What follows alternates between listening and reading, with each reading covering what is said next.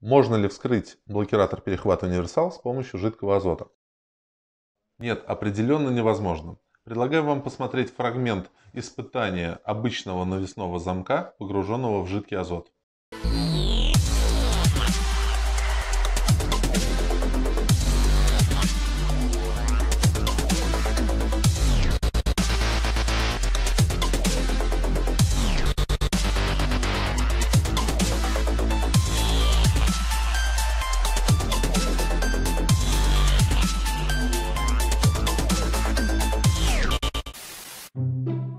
Ребята, прошло еще 20 минут. Ну давайте пробовать ударить по замку на весу, может это поможет.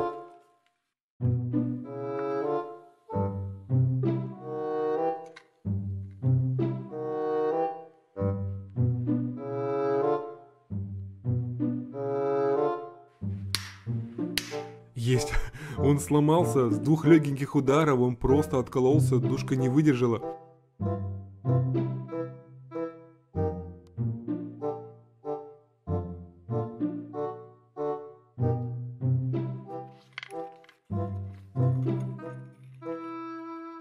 Видите, вон, есть промерзание металла вглубь с одной стороны. Миф подтвержденный, жидким азотом можно проморозить металл, но не за пару минут, как было показано в фильме, а держанием замка в жидком азоте целый час. Целый час нам понадобился, чтобы хоть только отбить душку. Сам же замок не трескается и не разлетается в дребезги, даже от удара кувалдой.